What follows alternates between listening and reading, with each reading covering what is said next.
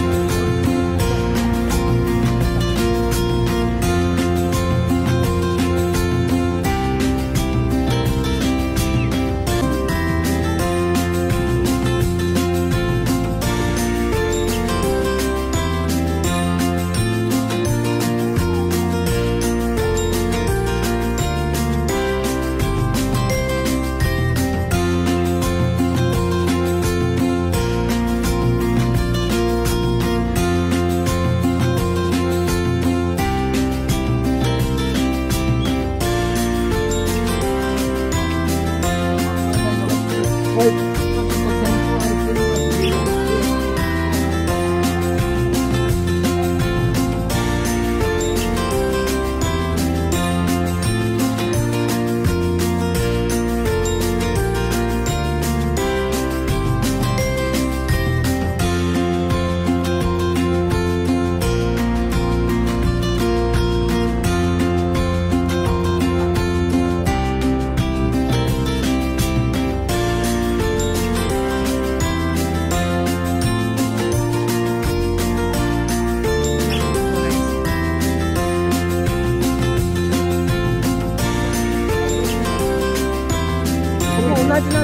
공연에 컴백이 시간 같은 거가 굉장히